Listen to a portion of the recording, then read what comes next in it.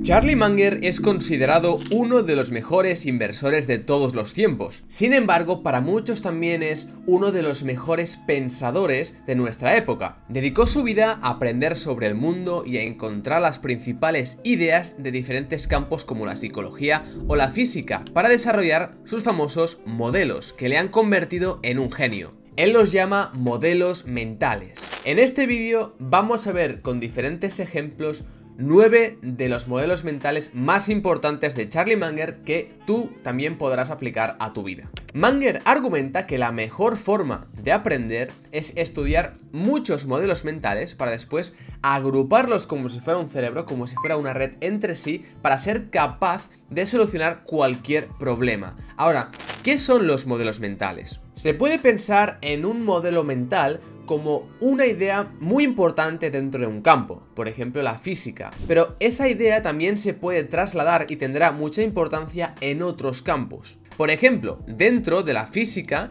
la idea de masa crítica se relaciona específicamente con la masa necesaria para crear una reacción nuclear en cadena. Si se tiene menos de la masa crítica, no se podrá dar tal reacción. Como digo, este concepto es muy importante dentro de la física, pero también se puede aplicar fuera de ese campo, como la masa mínima necesaria para poder crear cualquier círculo virtuoso como por ejemplo el número mínimo de usuarios necesarios para hacer despegar una nueva red social. Como decía antes, Manger destaca siempre la importancia de interrelacionar estos modelos mentales entre sí. Al final debemos pensar en un modelo mental como una herramienta. Cuantas más herramientas pongamos en nuestra caja de herramientas, más problemas podremos solucionar. Por ello debemos recopilar diferentes modelos mentales de diferentes áreas y diferentes sectores. Muchas ideas innovadoras han surgido de la combinación de ideas de dos campos diferentes, como por ejemplo la economía del comportamiento surgió de la combinación entre la psicología y la economía.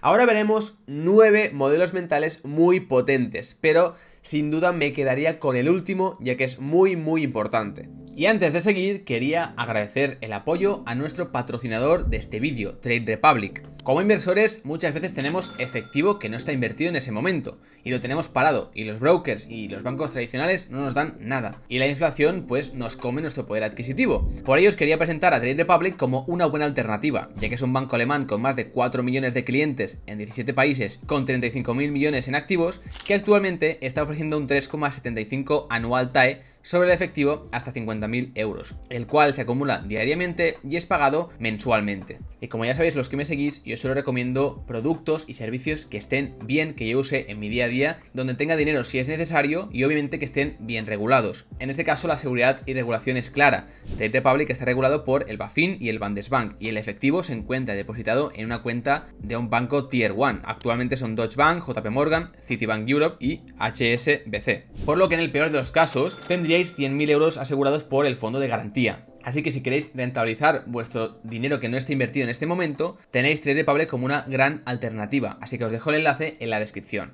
Empezamos con el número 1, inversión. Aquí no me refiero a inversión como invertir en bolsa, sino a inversión de ir al revés. Una de las frases más famosas de Charlie es solo dime dónde voy a morir para no poder ir allí nunca. Y este es el perfecto resumen de este modelo mental, de invertir o ir al revés. La inversión es una técnica de solución de problemas. Al principio se construyó por el matemático alemán Carl Gustav Jacob Jacobi, pero se puede aplicar en cualquier situación. Si analizamos lo que queremos evitar en lugar de lo que queremos conseguir, podemos encontrar mejores soluciones. Por ejemplo, supongamos que quieres mejorar la innovación de tu empresa. De cara al futuro pensarás en todas las cosas que podrías hacer para fomentar esa innovación. Sin embargo, si analizas el problema por inversión, pensarás en todas las cosas que podrías hacer para desalentar esa innovación. Lo ideal sería evitar esas cosas. U otro ejemplo, en lugar de pensar en lo que constituye una buena vida, podríamos pensar en qué lleva nuestra vida a la miseria. Modelo mental número 2 el sesgo de confirmación. Es un sesgo que nos inclina a seleccionar información que confirme o refuerce una de nuestras creencias o ideas ya existentes, en lugar de cuestionarlas o buscar otras nuevas. Warren Buffett dice, lo que mejor hace el ser humano es interpretar toda la información nueva de manera que sus conclusiones previas permanezcan intactas. Esto, por ejemplo, afecta a las inversiones. Por ejemplo, supongamos que soy accionista de Apple. Realmente, cuando vaya a buscar información, me fijaré en aquella información más positiva, como por ejemplo una noticia de que el nuevo iPhone que van a sacar se va a vender muy bien y muchísimo. Mientras que seguramente soy más reacio a leer una noticia negativa que me dice que a lo mejor sus directivos están cobrando salarios demasiado elevados. Me quedaré con aquella positiva que refuerce mi posición como accionista e incluso aunque lea la negativa, me seguiré quedando con lo más positivo de esa noticia para no tener que cambiar de opinión. Al final, aceptar información que refuerza nuestras creencias o nuestras posiciones es fácil y requiere poca energía mental. En cambio, la información contradictoria, opuesta, nos hace rehuir, nos hace pensar, eh, nos hace tener un esfuerzo mental y por ello buscamos una razón mínima para descartarla. Este sesgo es incluso mucho más fuerte con casos ideológicos o casos muy arraigados con muchas emociones que por ejemplo hemos vivido o hemos interiorizado desde pequeños, como por ejemplo la idea del cristianismo. Veamos un ejemplo. En un estudio de Stanford, la mitad de los participantes estaban a favor de la pena capital y la otra mitad en contra. Cada grupo leyó un estudio que tenía una posición contraria a la suya, pero al final dio igual, la mayoría se aferraron a sus puntos de vista originales. Y aquí tenemos otro ejemplo con la música, para entender por qué realmente la disfrutamos tanto. Según Daniel Levitin, autor de This is Your Brain on Music, a medida que se desarrolla la música, el cerebro actualiza constantemente sus estimaciones de cuándo se producirán nuevos ritmos y se siente satisfecho al hacer coincidir un ritmo mental con un ritmo del mundo real. Por ello te propongo que analices cómo actuará un grupo de adolescentes cuando alguien ponga Taylor Swift o cómo reaccionarán sus padres con los Bee Gees o incluso sus abuelos con Sinatra. La capacidad de predecir cada ritmo sucesivo es intrínsecamente placentera. Ahora que conocemos esto, podemos aprender a identificar en nosotros mismos este sesgo y también en los demás. Debemos sobre todo ser cautelosos siempre que veamos datos que de manera inicial refuercen nuestras creencias o pensamientos. Como dijeron Willard King y J.S. Julian, el deseo de tener razón y el deseo de haber tenido razón son dos deseos, y cuanto antes los separemos, mejor estaremos. 3. Círculo de competencia.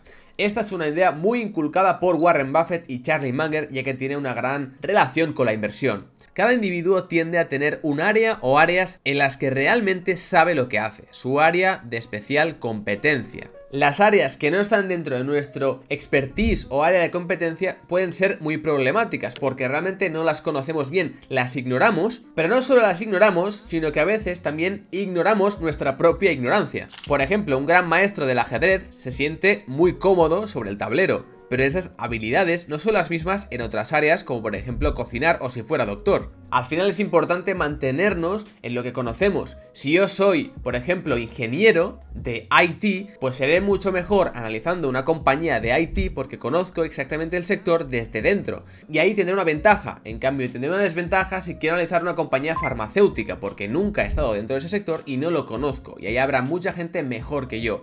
Por lo que debemos ser siempre conscientes de dónde tenemos una ventaja y de dónde somos mejores y cuál es nuestra área de competencia. Aún así, si queremos aprender sobre sectores y nuevas ideas, podemos expandir nuestro círculo de competencia. Cuando se le preguntó por qué Berkshire Hathaway no había invertido en productos farmacéuticos, Charlie Munger respondió, en general, no hemos invertido en productos farmacéuticos porque no tenemos ninguna ventaja. No sé lo suficiente sobre biología, medicina y química. ¿Por qué diablos iba a jugar contra otras personas en un juego en el que son mucho mejores que yo?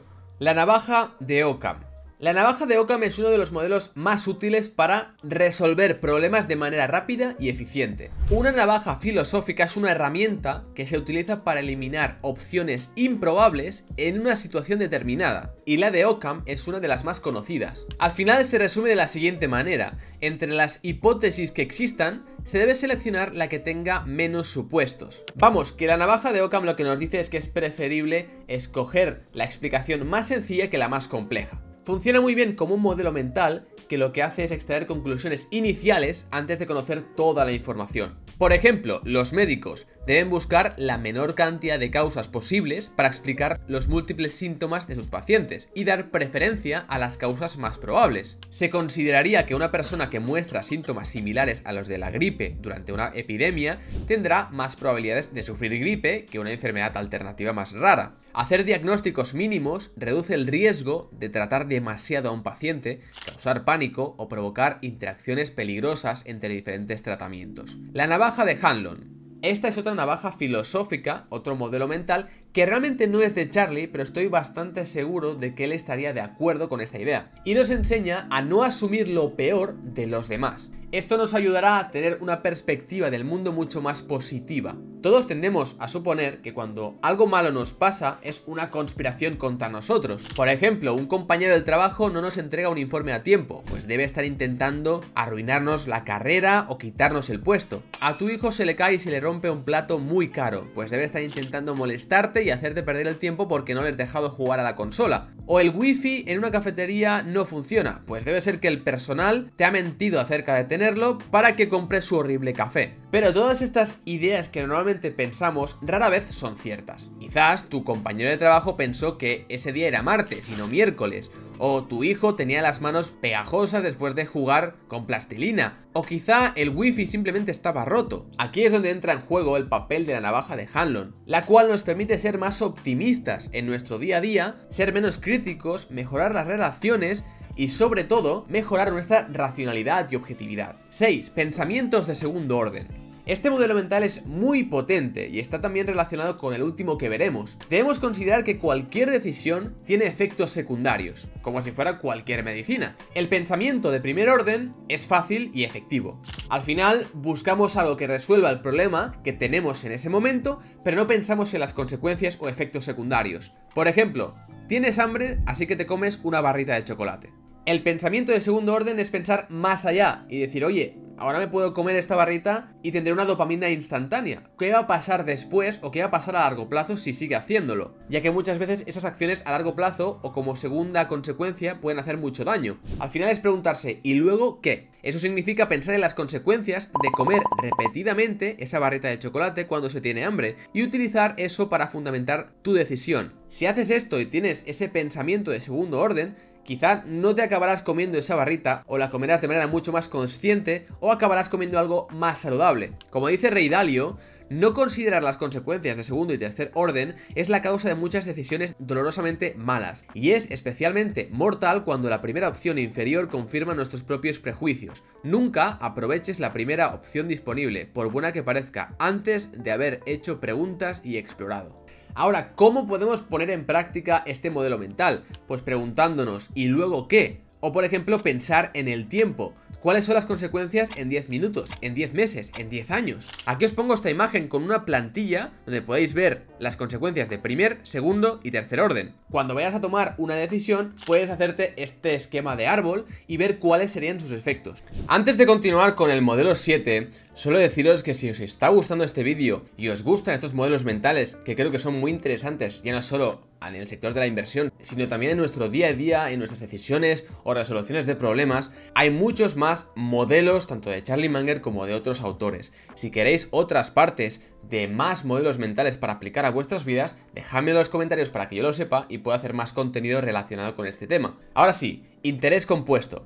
El efecto compuesto es un modelo mental que nos ayuda a pensar de manera exponencial y no lineal. Pequeñas acciones constantes y repetidas nos pueden traer grandes resultados acumulativos. Eso funciona muy bien con la inversión. ¿Cómo? Pues fijaros en esta tabla. En el año 1 yo tengo 1000 dólares de capital y los voy a invertir a un 8%. El primer año voy a ganar 80 y entonces si lo reinvierto, el segundo año voy a empezar no con 1000 sino con 1080 y ahora ese 8% me va a dar 86. Esto es un círculo virtuoso que a medida que va avanzando crea un efecto de bola de nieve que hace que en el año 10 tengamos ya un capital de 2.000 dólares y estemos ganando 160 dólares por esa inversión. Es decir, tenemos esa diferencia entre un interés simple o una reinversión del interés que nos da un interés compuesto y exponencial. Este efecto también se aplica a cualquier ámbito de nuestra vida. Cada acción que realizas, por pequeña que sea, tiene un impacto y cuantas más veces lo hagas, ese impacto crece de manera exponencial. El efecto compuesto a menudo se denomina efecto bola de nieve porque recuerda a una bola de nieve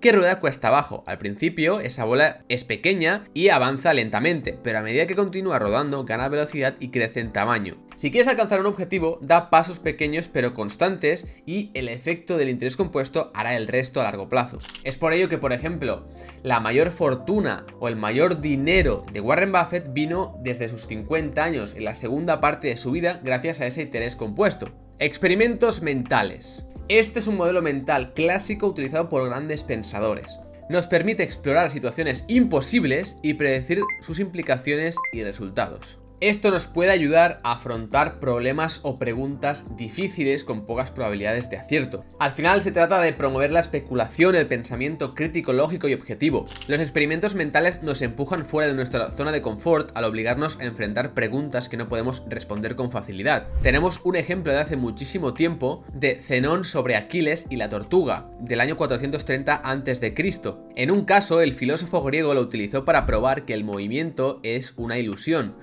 Como la paradoja de la dicotomía, involucra a Aquiles compitiendo con una tortuga. Por generosidad, Aquiles le da a la tortuga una ventaja de 100 metros. Una vez que Aquiles comienza a correr, rápido recorta esa ventaja. Sin embargo, en ese momento la tortuga ya se ha movido otros 10 metros. Para cuando vuelva a alcanzarla, la tortuga habrá avanzado más, así que Zenón afirmó que Aquiles nunca podría ganar la carrera ya que la distancia entre ambos aumentaría constantemente. Los biólogos también utilizan experimentos mentales, por ejemplo, se cuestionan por qué existen los organismos como existen hoy, por qué las ovejas no son verdes, aunque suene muy surrealista, la pregunta es válida, una oveja verde estaría mejor camuflada de los depredadores. Otro experimento sería preguntarse por qué los organismos, aparte de ciertas bacterias, no tienen ruedas. También suena surrealista, pero sigue siendo seria. Sabemos por nuestros vehículos que las ruedas son más eficientes para moverse en gran velocidad que las piernas. Entonces, ¿por qué no existen naturalmente? 9. Pensamiento de los primeros principios.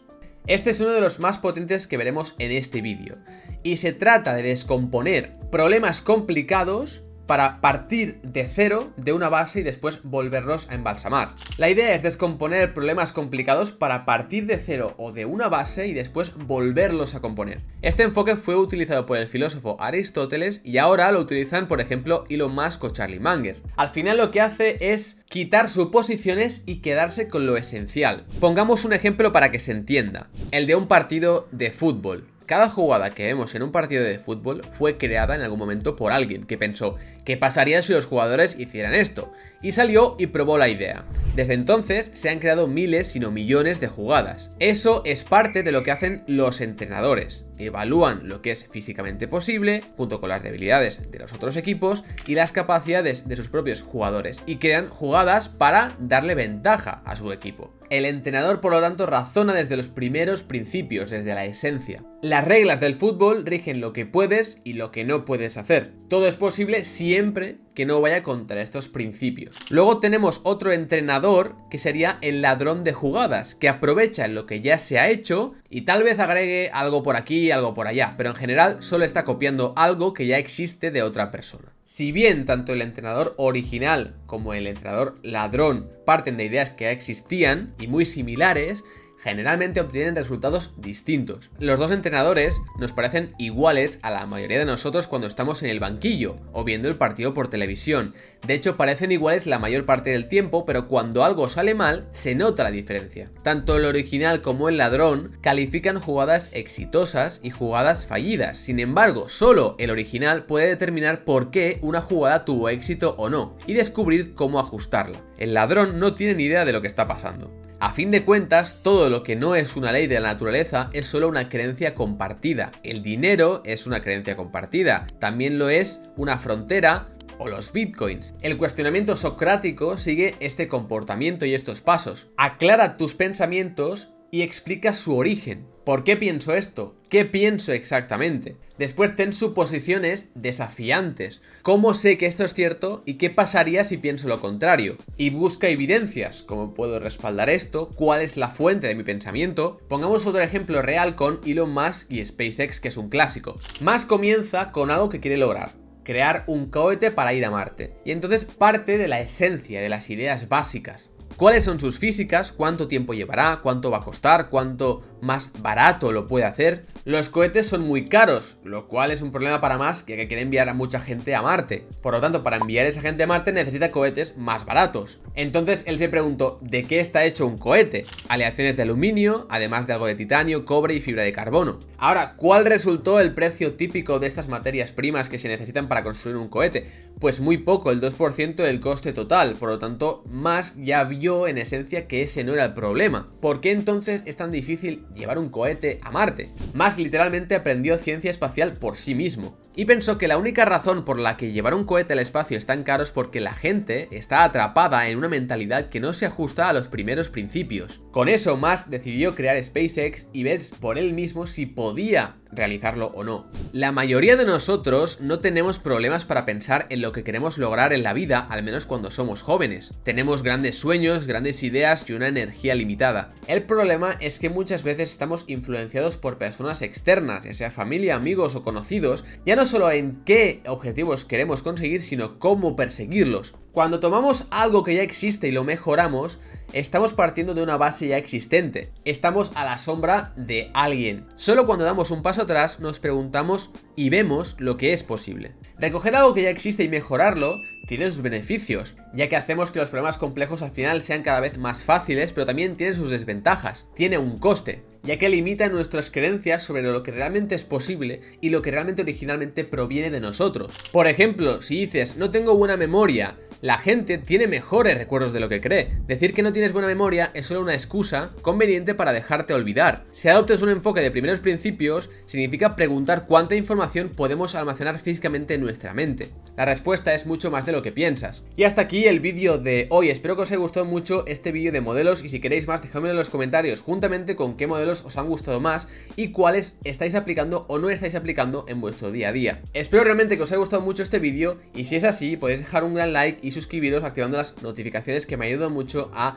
continuar con mi trabajo. Sin más, os dejo aquí un vídeo que si os ha gustado este os gustará porque es un resumen del libro de Charlie Munger, Poor Charlie's Almanac, de donde he extraído algunos de estos modelos. Y sin más, un abrazo y un saludo a toda la comunidad inversora, nos vemos en el próximo vídeo.